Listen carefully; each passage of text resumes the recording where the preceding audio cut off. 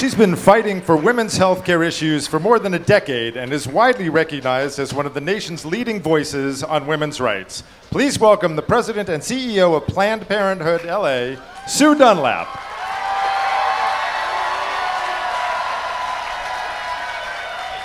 All right, Los Angeles, you guys may have heard there's some people who think Planned Parenthood's not going to be around anymore.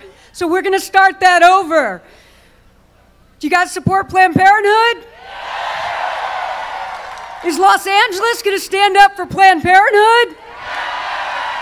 That's right. We celebrated our 100 year anniversary last year, and we're going to be here for another 100 years.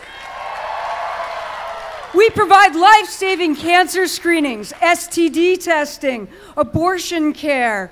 We answer the phone thousands of times a day because so many of you know what it is when there's not someone safe you can talk to about sex and sexuality.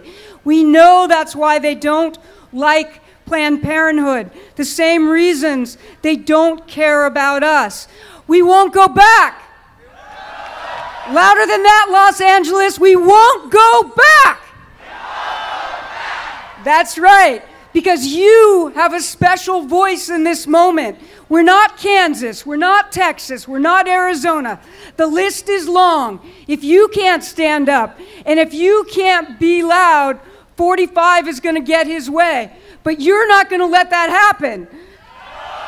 So let's do, we, we won't go back one more time, and let's do it so loud that those folks in Washington, D.C., who don't understand that black lives matter, those folks in Washington, D.C., who don't care about immigrants and dreamers, those folks in Washington, D.C., who don't care about public education, those folks in Washington, D.C., who don't care about women's health, those folks in Washington, D.C., who care so little about democracy that they spend their time figuring out what bathroom kids should go to. So let's do this one more time. We won't go back. We won't go back. Thank you.